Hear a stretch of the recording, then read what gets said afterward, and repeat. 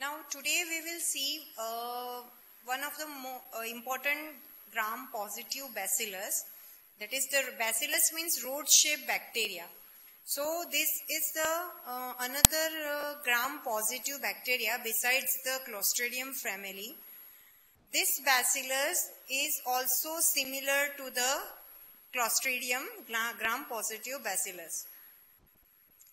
It's a sporing rod-shaped bacteria and this bacteria is, uh, this gram-positive bacilli are divided into two groups. One is aerobic and one is anaerobic.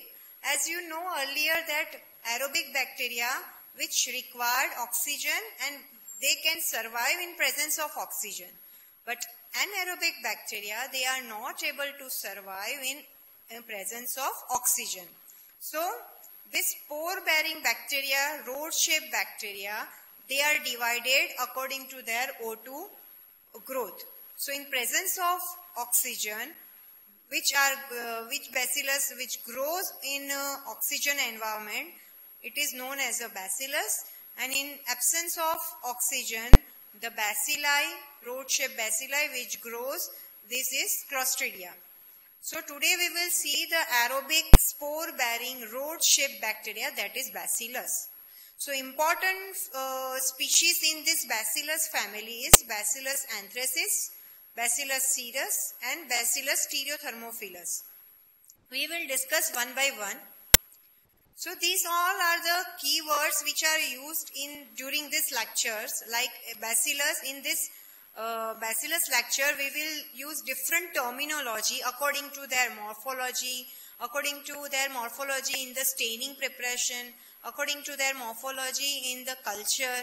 So they are, and according to the disease produced by them, they are divided in, they different different terminology which is used like Bacillus anthracis, which producing a disease like anthrax, like Hyde-Potter disease, this is Hyde-Potter disease. This is the occupational uh, disease, wool sorter disease, then malignant pustule. Because the uh, pathological lesions which is produced by this bacillus, which is known as a malignant pustule.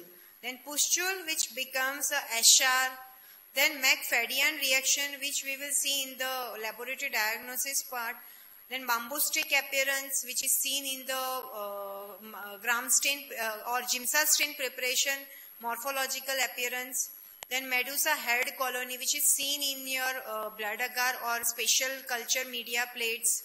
Then string of pearls reaction. So these all are the different terminology which we will use during this uh, lecture.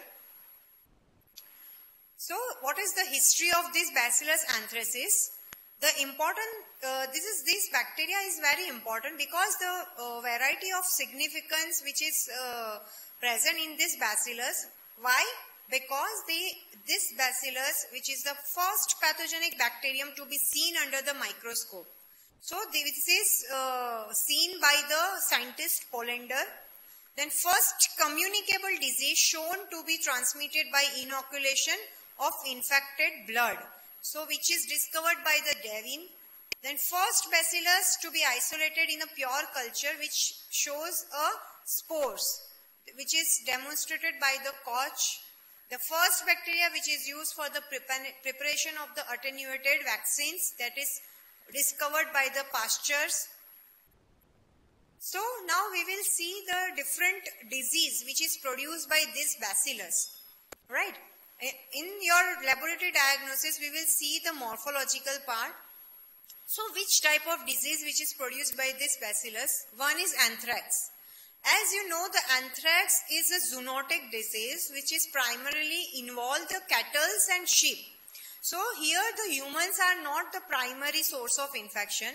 Here the animals and cattle, including cattle, they are the basically source of infection. The animals are infected by the ingestion of the spores which is present in the soil. So, and they become infected and then from animals it is transmitted to human. So that's why it is known as a zoonotic disease. The large number of bacilli which are shared in discharges from the mouth, nose and rectum from the animals Now this bacilli which are discharged in this all the type of secretions, they are deposited in the soil.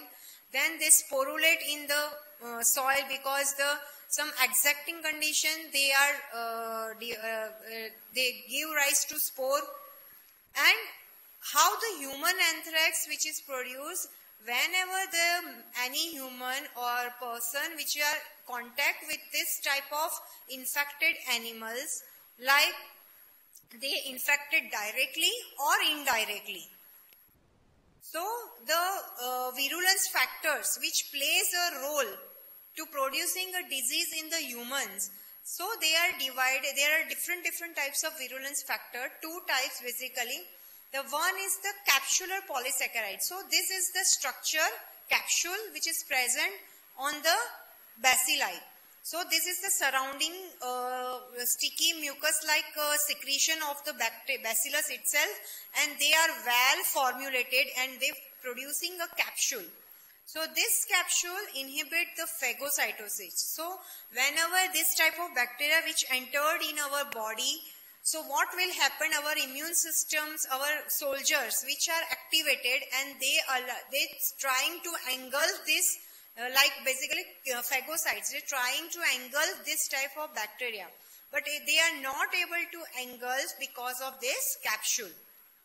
So this capsule synthesis which is encoded by the plasmid. So this uh, plasmid which transfer this virulence factor from one bacterial species to the another bacteria.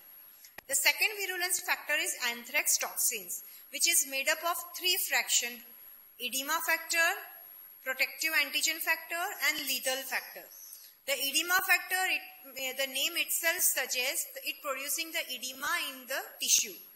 Then protective antigen factors, they actually they are not toxic individually. They have to produce their action in the presence of all three. So they are not able to work individually. The whole complex, they are allowed to produce some local edema and generalized shock. So the toxin production in this case which is also plasmid mediated. So both the virulence factor in the case of bacillus which is mediated by the plasmid. The uh, anthrax toxins were the three fact which containing these three factors as we see uh, uh, seen in earlier slide. The edema factor which is an active fragment and they basically act by the activation of the adenyl cyclase enzymes. So what will happen? They increases the adenosine triphosphate ATP within the cells. So they increase, they, how they increase? They increase the cyclic AMP within the cells. Okay. And then the uh, protective factor which having a binding fragment. So whenever any bacilli come in contact with the human tissue or human cells, host cells, they have to first bind their cells. So the, here the protective factor play a role. The binds to the specific host cell receptors and facilitate the entry of the other fragments into the host cells. So protective factor which is for the binding then edema factor which produces increases the cyclic AMP within the cells. So cells become enlarged and it produces the edema. And the lethal factor which causing the cell death. So the affected cell become a necrosed and after they die. So they acts by cleaving the host cell mitogen activated protein kinases. So how these three uh, factors which are present in the toxin, they act simultaneously. So here the picture is uh, given. You can see here there is a three factors, edema factor, protective antigen factors and the lethal factor. Here there is a cells and this protective antigen factor which bind to the specific receptors on the host cells. Then they allow the, this edema and lethal factors to bind another sites and they endo uh, they phagos they goes inside the cells and endo, um, producing the endosomes and they start their effect within the cells. The human anthrax, the disease which is caused by this Bacillus anthracis, which is known as a human anthrax. And this human anthrax, which is also uh, divided into three types of uh, disease according to the lesions which is produced. So one is cutaneous anthrax, second is pulmonary anthrax, and the third one is intestinal anthrax. And all three types which will lead to the fatal septicemia. So first we will see the cutaneous anthrax. This cutaneous anthrax, 95% of the human cases, this is most common form of presentation. So the route of entry uh, itself uh, name like a cutaneous, so route of entry is skin. The site basically involved are the exposed part of our body like face, then uh, arms, then back, then uh, neck and hands.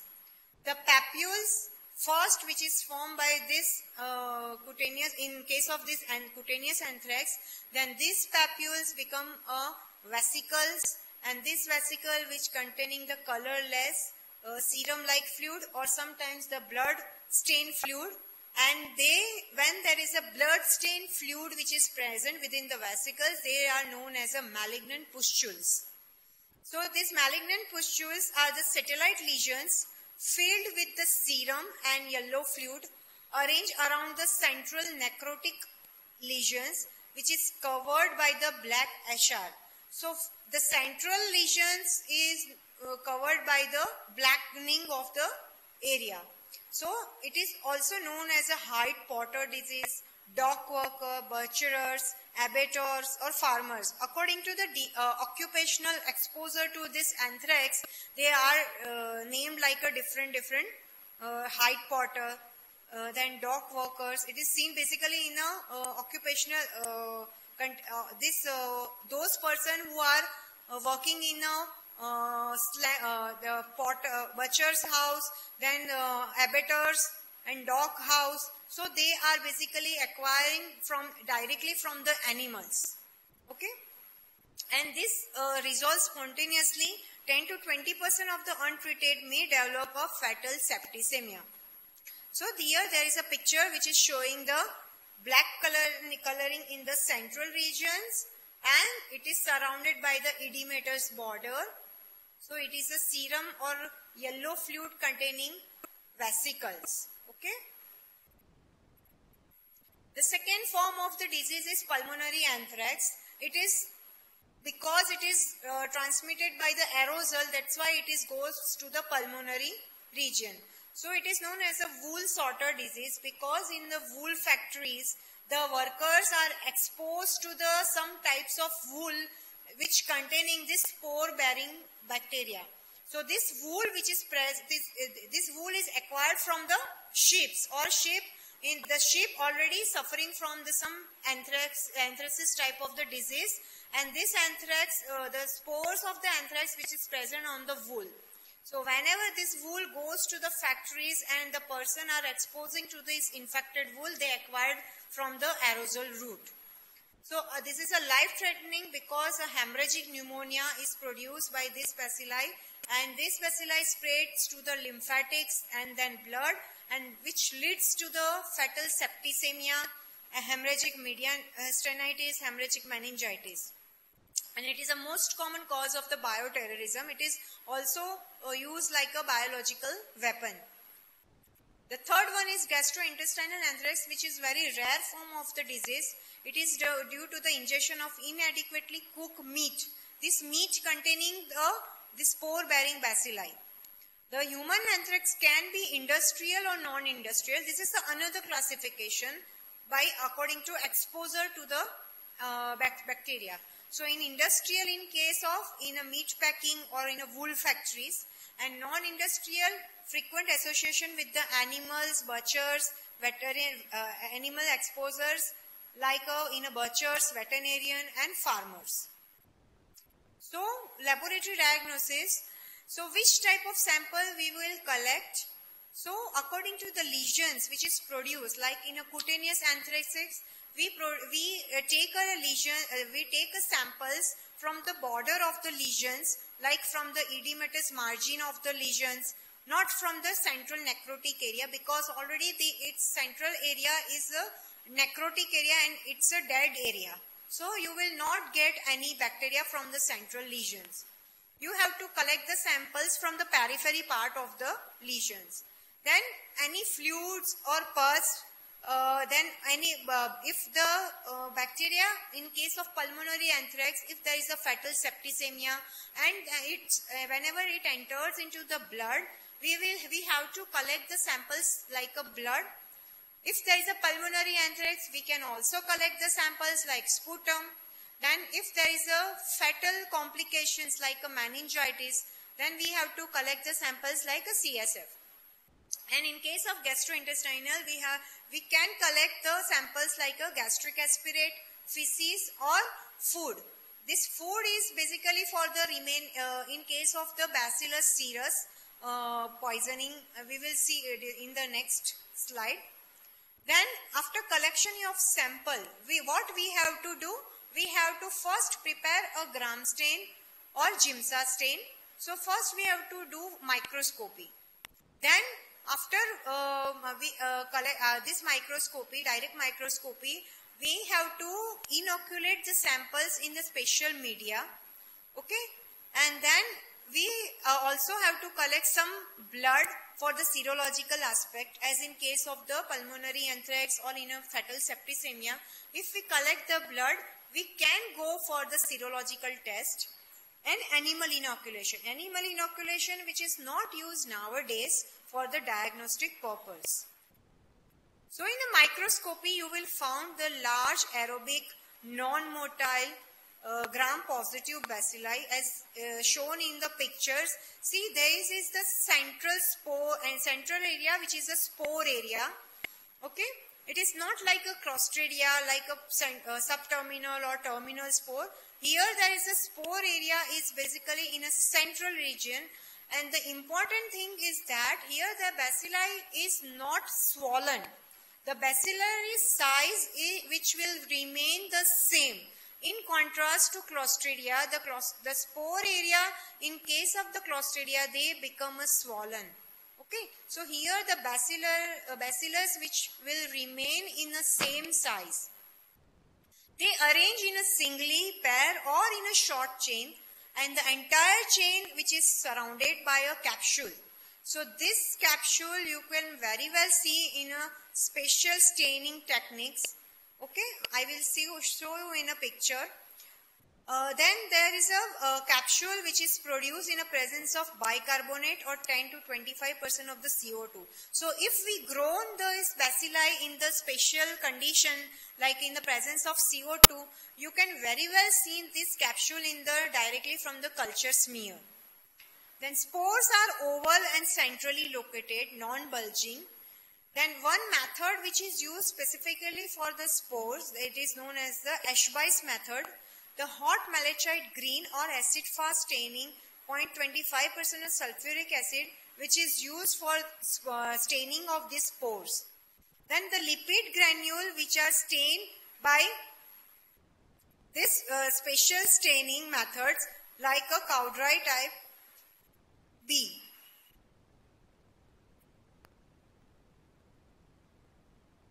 Then staining of this blood film from directly from the blood by the polychrome methylene blue. So here you can see the amorphous material which is surrounding the bacillus. See here in the picture, the, uh, the pinkish color border is uh, seen which is uh, suggestive of the capsule. So the, it represents the capsular material and presumptive diagnosis of the anthrax in an animal. So this is the polychrome methylene blue stain. Then you can also go for the direct immunofluorescent method. Here the fluorophore, the any uh, fluorescent dye which is encoded by the immunoglobulin and this that's why it is known as an immunofluorescent and directly this monoclonal antibody which will combine with this capsular antigen and cell wall polypeptides which is used for the confirmation of the diagnosis during the bioterrorism outbreak. Culture characteristics which are, they are grow on a blood or nutrient agar at 37 degrees Celsius. They produce irregular, round, raised, dull, opaque type of colonies and this is known as a frosted glass appearance. It's sometime uh, you can see there is some frost uh, present on the glass window. So it is just like uh, that type of colony which is appears on this nutrient agar. In the low power of microscope, if, if we see this colony directly on the uh, microscope, on the uh, edges of this microscope, you can see the interlacing chain of the bacilli and they are resembling the locks of matted hair. So that's why it is known as a medusa head appearance. So another terminology which is used for this cultural characteristics of the organism. Then gelatin step culture, inverted field tree appearance with slow liquefaction starting from the top. So here this picture which is shows in a frosted glass appearance of the colony on the blood agar. Then here there is a medusa head type of colony on the blood agar. If we see in the uh, edges of the colony. See, this is the uh, different uh, projections, wavy projections in the colony. And this is the inverted field tree appearance. You can see inverted palm tree-like structure which is present if we inoculated in the gelatin step culture. This is the edges of the colony. These are the locked matted hair type of colonies. It is seen on the uh, edges of the colony. So this type of colony characteristics is known as a medusa head appearance. This is a string of pearl appearance which is seen in this uh, solid media which is containing 0.05 to 0.5 units of penicillin in 3 to 6 hours, the cells become a large spherical and occurs in a chain on the agar surface. So it's a, just like a, uh, the pearls which are spread on the plates. Okay? That it is differentiate. So this characteristic differentiate the Bacillus anthracis from the Bacillus cereus because Bacillus cereus it is not producing this type of colony. The one of the selective media which is used for this Bacillus anthracis is Plate medium. The P stands for polymyxin, L stands for lysozymes, E stands for EDTA and T for thallus acetate. So to isolate it from the mixture which containing other spore-bearing bacilli. So whenever the sample which is mixed with the other organism or it may be contamination of the uh, uh, samples, uh, uh clinical samples, so we have to directly inoculate in this type of plate media. So which is a selective media for the Bacillus anthracis. Now we, after getting your colony, what we have to do? We have to take a single colony and prepare a smear from that colony and go for the gram stains or different types of stains. Okay. So you will found the bamboo stick appearance of the bacilli this is the Giemsa stain. You can see here there is a bamboo appearance. Chain of the bamboo. The central region is containing the spore. So they, they, look like a bamboo stick appearance. Animal inoculation which is not used nowadays.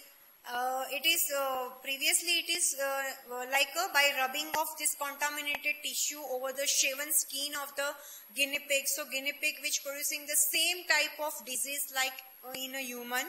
So it uh, so pathogenicity. If you want to see the uh, typical pathogenicity of the disease, so we have to do like this.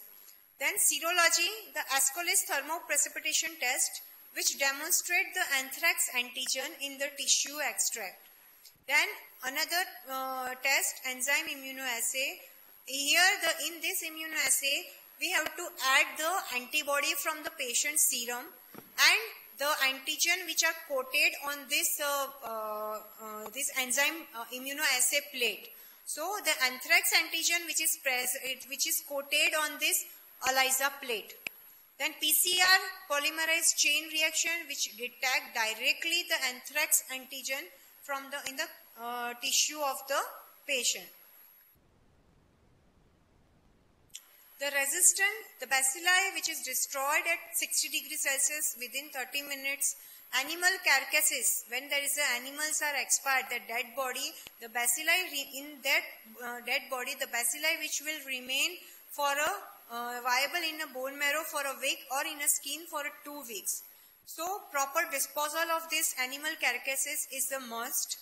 So spores are highly resistant and survive in a soil or in atmosphere up to 60 years. So it's suggestive of it's a highly resistant uh, bacteria and basically spores.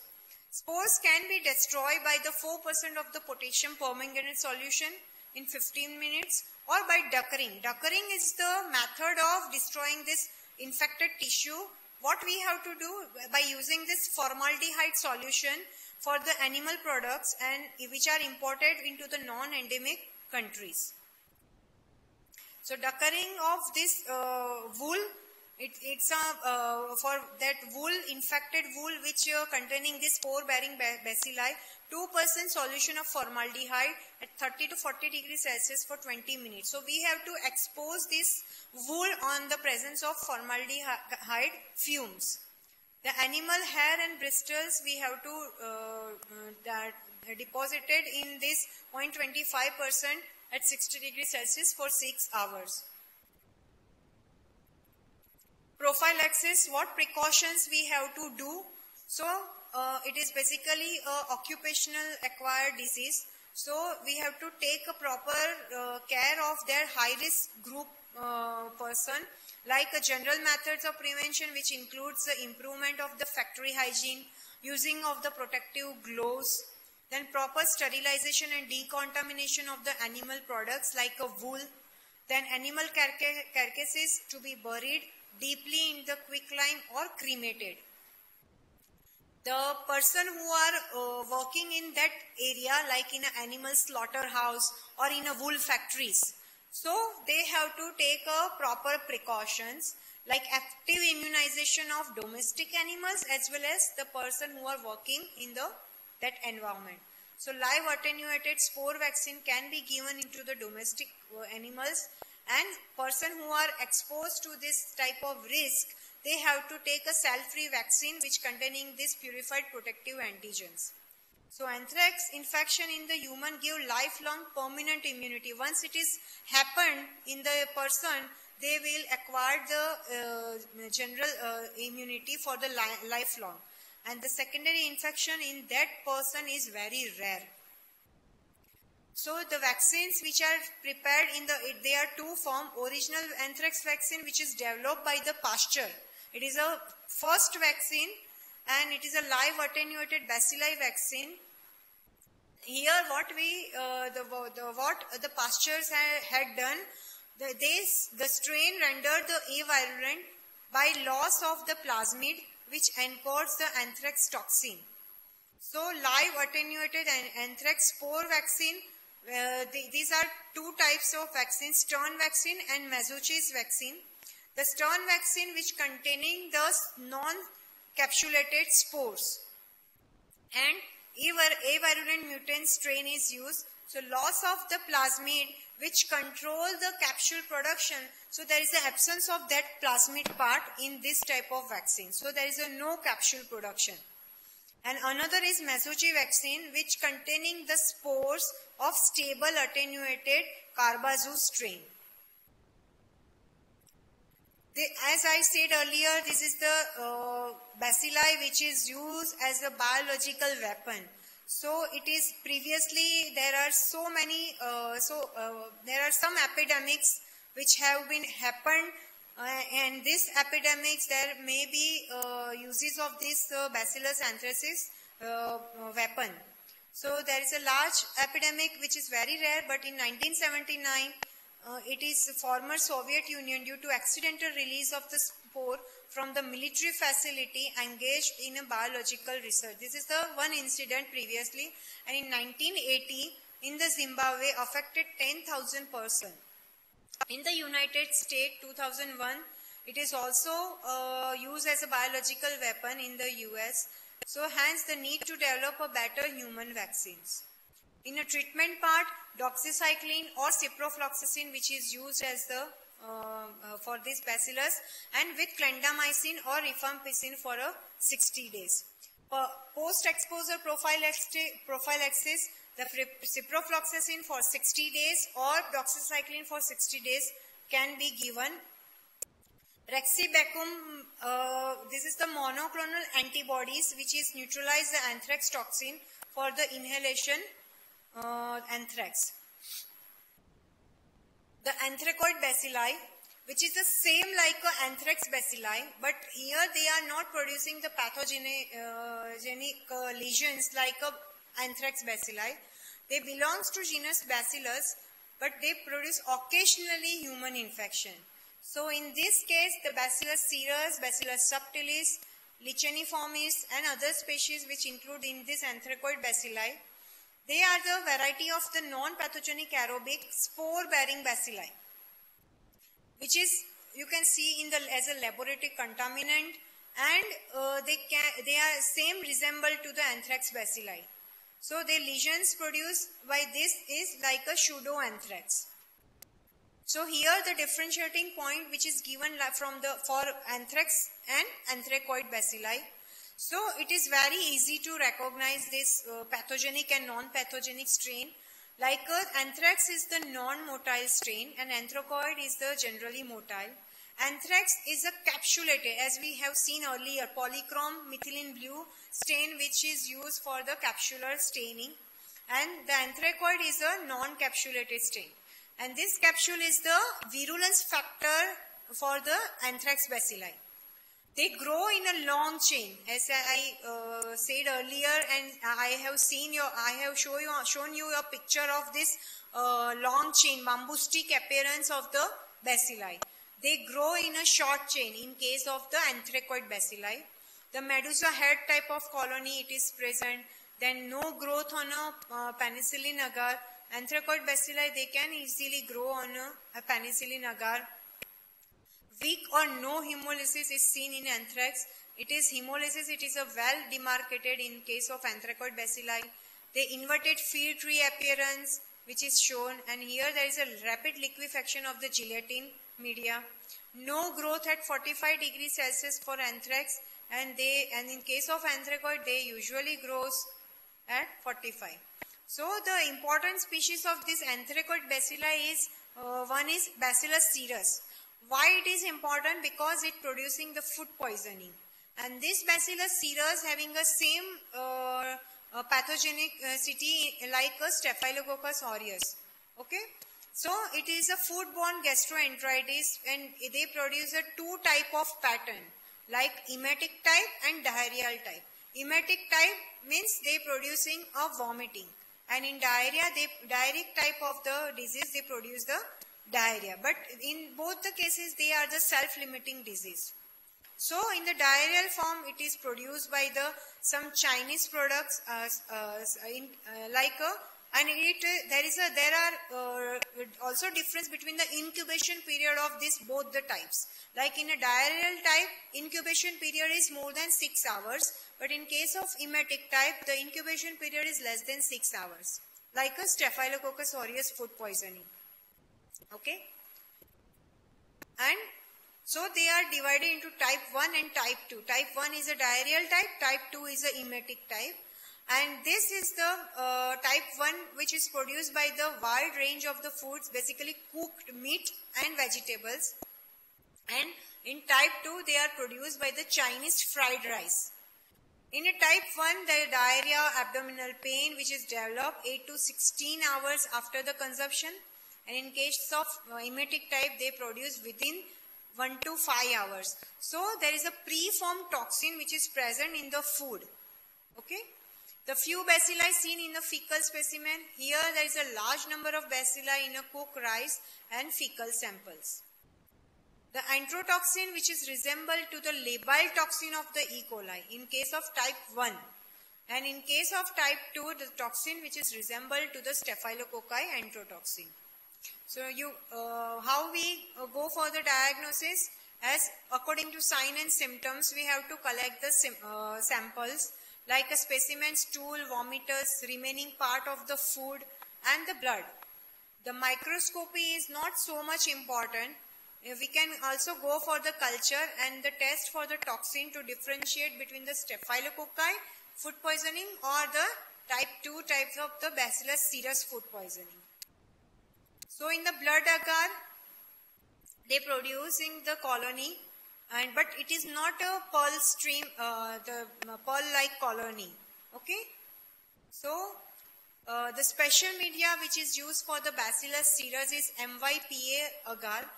M which is stand for the mannitol, Y is for the egg yolk, P is for phenol red and A is for the polymyxin agar. So it is to isolate the Bacillus cereus from the mixed uh, specimen like a feces because fecal material which is also containing the commensals bacteria. So in the treatment, it's a self-limiting disease. So in the treatment part, we have to uh, proper maintain the hydration of the patient. So rehydration therapy is the most important. The antibiotic which is used only in case of if there is any systemic complication is there. Otherwise, it is a self-limiting disease. Thank you.